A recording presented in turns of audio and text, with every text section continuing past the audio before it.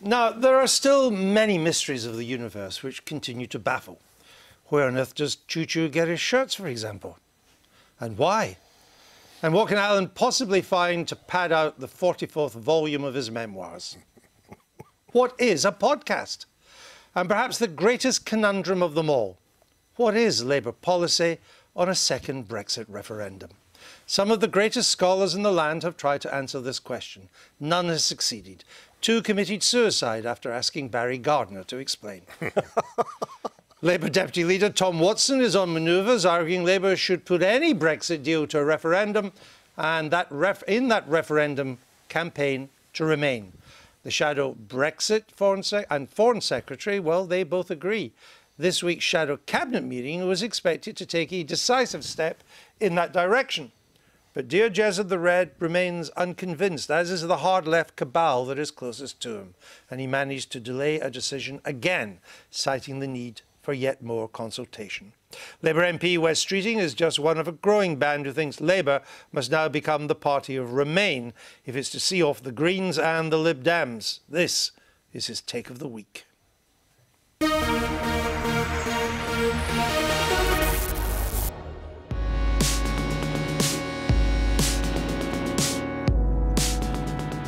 Let's face it, we've all been going around and around and around in circles on Brexit for far too long. It's time for us in the Labour Party to lead the debate with clarity and conviction. We need to find the courage to make the positive case for remaining in the European Union through a fresh referendum. As our Deputy Leader Tom Watson has pointed out, EU membership is in keeping with Labour's values. Brexit isn't just a brake on those ideals, it's an existential threat to them. And in all honesty, our current position is unsustainable. Constructive ambiguity, triangulation, kicking the can down the road. This landed us our worst national election result since 1910, the loss of council seats we won just four years ago. And four in 10 Labour members not voting Labour. I represent a constituency that voted to leave the EU, so I do understand the anxiety of Labour MPs to change course. But we're losing more votes to pro-Remain parties than pro-Brexit parties. And anyway, this isn't just about votes. This is about what we stand for.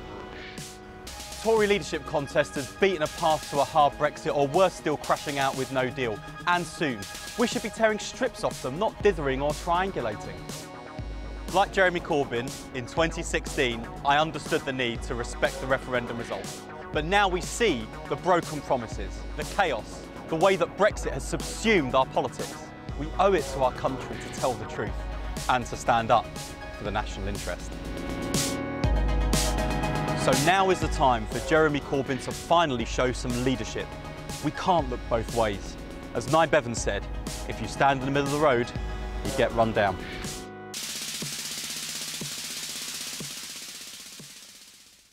Wes Streeting didn't get knocked down this time, and he's with us in the studio. Almost. There were some near misses. Yeah, I'm glad it wasn't me standing there. Can I just clarify? You want Labour to support a second referendum on any deal. Yep. And for Labour to campaign for Remain in that referendum. Yes. So it surely must follow that a Labour government would abandon any attempt to negotiate a better deal than the May deal. Well, I mean, that's a hypothetical. Who knows if there would be a Labour government before Brexit's complete? It looks very unlikely. But if there was... We'll get to the 31st of October. If there was, there would be no point in a Labour government trying to negotiate a better deal. I don't know about no point. I think I think if you're going to have a deal put to the public, which is what I would support, then if you can get a better deal, then you could try. But let's be realistic. Hold on, hold on. You can hardly expect Brussels to negotiate another deal when whatever you're going to get you're then going to campaign against? Well, the, the, the, to be honest, Andrew, the fallacy about negotiating a Labour deal has always been that it's very unlikely that Brussels would give a better deal we've already had. And also, there is no commission to negotiate with. There's no negotiating team to negotiate. No. So let's be realistic about well, where we I are being now. realistic. If, if uh, Labour was to take your policy, it surely is logical that you have to abandon any further negotiation. I mean, Brussels wouldn't. Brussels would say, well, why should well, we bother? But, but, because you would have the policy of a Labour government that you would recommend in a referendum to vote against your own deal. But I don't, I don't accept the premise of your question because the, the, the fallacy of the Tory leadership election at the moment is the idea that uh, Boris Johnson, now Jeremy Hunt, is are going to come in and negotiate a new deal. There is no commission to negotiate with. but- there is but- no negotiating Yeah, team to negotiate your- with, and we've got the your 31st party's October policy. deadline. Yeah, but that's the Tories. It's your party's policy, No, but it as it stands at the moment, that if it gets into power in the near future, it will attempt to negotiate a better deal than Mrs May's deal. Yeah, well, that's, I, well, I'm that's your party's well, policy. yeah, and I, well, look, I and it would have I- to abandon that if it decides it's going to campaign to remain against any deal, even its own. I think it's pretty clear that I don't agree with Labour policy. That's why Yeah, I went walking round and round the circular. The, the, the point is, Andrew, that we've got a very limited amount of time. We've got a 31st of October deadline. I don't think that any Prime Minister, whether Boris Johnson, uh, Jeremy Hunt or Jeremy Corbyn, are going to have the time or the ability to negotiate any other deal. So, look, the, the choice now is do we put the deal that's been negotiated and agreed to the public? Do we put no deal to the public with the option to remain? Those are the real choices. And what I want to see the Labour Party do is move up beyond the prevarication and the No. um, obfuscation to, I to actually you said lead, that, lead but the I'm, argument. But I'm trying to get that the logic of that is surely that you don't even bother to renegotiate a better deal. Well, I don't- you, well, I don't because think you're you going to campaign But I don't think you against can. Uh, um, anything but Remain. You're going to campaign for Remain referendum. Alan, what do you make of it? Well, I, I just want to ask Wes, what is wrong with the deal that's on the table at the moment? Well, it's, it's demonstrably worse than the deal we already have with the European Union in terms right, of okay, uh, trade and future I relations. understand That's that. my You just want to that's remain. My, that's my problem with You it. just want to remain. Now, David Lammy made this argument straight after the referendum, and if we were going to do it, that's the time we should have done it. The Lib Dems have now occupied that ground. For us to move onto that ground, Uh, you, the first thing to remember is by 31st of October, we leave the EU. It happens by default if they don't extend that deadline. So there's no time to mess around with what's going to be our policy at the next election. The only way a referendum would work, and we're in this problem because we had a referendum, I don't see the solution being having another one, but the only way it would work is if you put, you agreed the deal that's on the table now, Parliament agreed it, put it to a yes no referendum, if that's the idea, well, the people should have a final say on this. If it's accepted, fine, that's the deal. If it's rejected, you then need to have a second referendum, surely, don't you, to say, do we leave with no deal or do we remain? The idea of having the deal and remain is a gerrymandered uh, referendum. Wes? Well, it's an interesting uh, point about having a second referendum. You could have two questions. You could have question one, leave and remain. Question two, deal, deal or no deal. But the, in terms of uh, the, you know where we've got to, the, the fact is, you know, 2016. As I said, I, thought that the right thing to do was to ena- enable the government to negotiate, to try and enact the will of the referendum. But in the three years that have passed since, every single one of the main promises that were made during the referendum have evaporated. We've seen absolute chaos. The idea that we are just leaving the European Union by default on the 31st of October, irrespective of the facts, the fact we've changed Prime Minister, we've changed Brexit secretaries more times than I can count. You know, things have moved on, and the I, country's I'll just say on. one thing, Wes, but I know Michael wants to come in. I, I'm bemused as to why a deal that's on the table that is a soft deal that puts us in a customs union, albeit for a transition period, that uh, gives rights to workers, that, uh, that maintains environmental standards. Surely Labour isn't arguing about the backstop. That's a Tory argument about Northern Ireland backstop. I can understand as not wanting a deal because now we think we just want to remain, but I don't think that's going to fly. But it, Okay, but- hold on. No, th- th- Michael, what's your take? Uh, my take is that uh, we won't leave on the 31st of October, but I think there probably will be a deal. I think the deal will be extremely like Mrs May's deal with a couple of twiddles. I think the European Union wants us out, and the European Union wants us to make a deal, and I don't think Boris Johnson or anybody else is going to go for no deal. It's self-evidently in the interest of the Conservative Party that there be a Brexit, because otherwise the Conservative Party will be destroyed by the Brexit Party at the next election.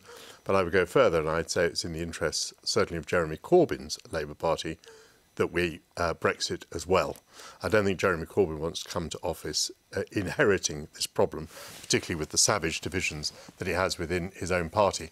And one of the reasons why this will be beneficial to the Labour Party as well is that although uh, Wes is not putting much emphasis on this, uh, one of the reasons Labour has done very badly in the European elections it is that it has been destroyed in its uh, in its hinterland by the Brexit Party, as the Conservative Party has been destroyed in its hinterland by the Brexit Party. And the only way to stop that happening is to Brexit. Well, let me- because once we've right. Brexited, there's no more Brexit Well, let me pick up that the point that uh, Michael's made there and get you to react to it, because this was really the point of the official briefing paper uh, from the Labour Party that was put before the shadow cabinet, which said that if they went down your road, there's a quote an evident risk that Labour would lose more seats in the Midlands and the North. And that's where the paper said Labour has the most target seats it hopes to win. It's also where its most vulnerable seats are as well. So it's saying this official briefing uses a recipe for Labour losing.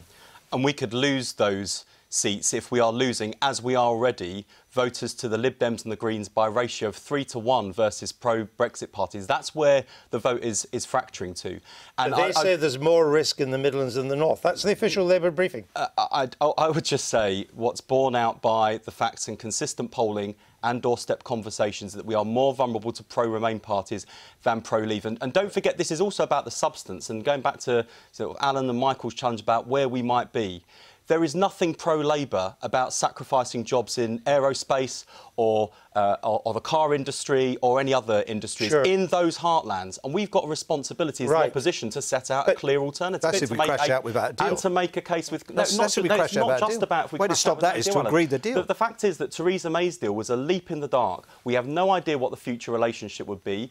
Any, any new barriers in terms of tra- uh, tariffs and, and, and barriers to trade results in, in loss of jobs, loss of, of just-in-time manufacturing, which you know Britain relies on in terms of um, some of our key industries in those places that voters leave. We've got the- responsibility can to the- speak up about that. You may be right or wrong on the substance. I'm looking at the politics here because that does concern your party. Can the Labour Party continue to be the Labour Party if it's no longer the party of the working class? 26 Labour MPs have written that what you're proposing is, quote, toxic to our bedrock Labour voters. You lose them.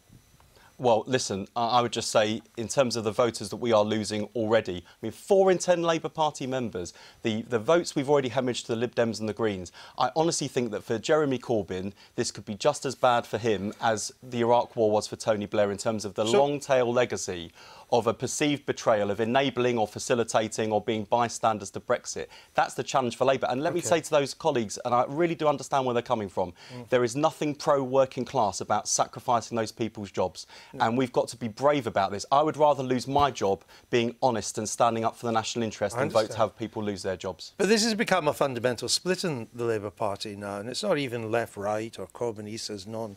It is, is between metropolitan MPs who fear the Greens and the Liberal Democrats uh, more, and non metropolitan, like these 26, who fear the Brexit Party more. They see that as a bigger threat.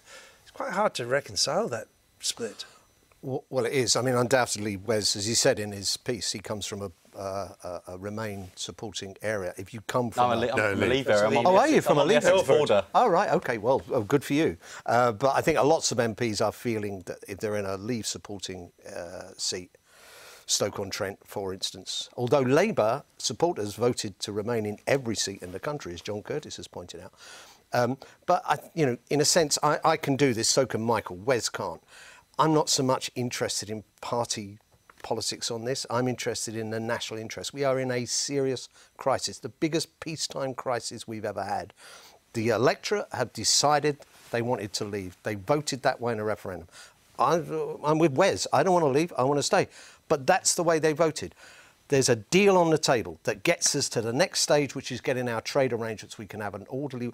I mean, the problem is if we go down Wes's route and if we get this wrong, we crash out without a deal, and all the things that Wes quite rightly said about manufacturing jobs will happen. We'll have no control over. All right, we, we've run out of time. Just one quick final question to you, Wes Streeting. Uh, the indications I get is that the Labour Party is moving your way. It hasn't yet. Do you think it will adopt your policy of definitely a referendum and we campaign to remain? I hope so, but we've had so many false dawns, and honestly, it's the lack of clarity that is absolutely killing us. And one thing that all of us agree on broadly in the Parliamentary Labour Party, including MPs who signed that letter to Jeremy Corbyn, is that being neither one thing nor the other is losing us votes in every way. All right, well, Wes Streeting, there's been no lack of clarity from you tonight. Thank you. Thank you.